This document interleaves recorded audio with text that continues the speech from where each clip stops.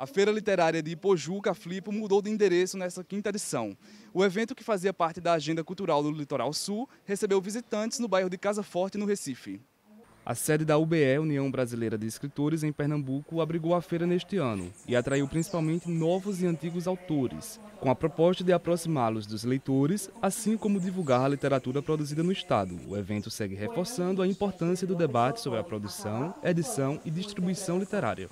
É sempre importante esses eventos, né? esse aqui que está se realizando na, na nossa UBE, União Brasileira de Escritores, é muito importante porque eles valorizam muito também o autor local. Não é um evento só de teorias, né? é um evento que, que dá ao, ao autor local esse espaço para ele falar e ser ouvido. O curador Alexandre Santos fez questão de frisar a importância de eventos literários que valorizem a cultura regional e divulguem o material de nossos escritores. Como qualquer um outro empreendimento cultural, é, gera muitas oportunidades.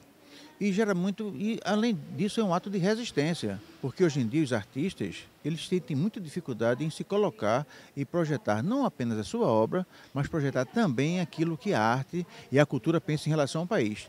Os debates deste ano reforçaram o potencial transformador da leitura sobre as pessoas e estimularam a aproximação do público com o mercado. É fundamental, porque a gente consegue divulgar o trabalho do artista pernambucano, do escritor, do poeta, do cordelista, do repentista, do todo pessoal da arte popular, consegue mostrar o seu trabalho muito mais com essas oportunidades do que se for esperar que a gente tenha oportunidade em outros estados, em outros grandes eventos do país.